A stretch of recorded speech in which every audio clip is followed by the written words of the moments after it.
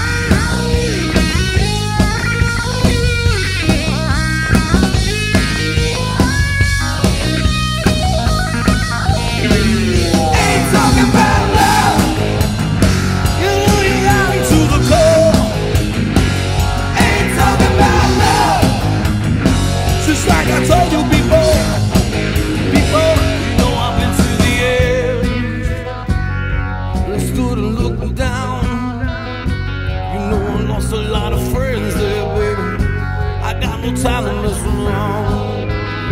So if you want, you got to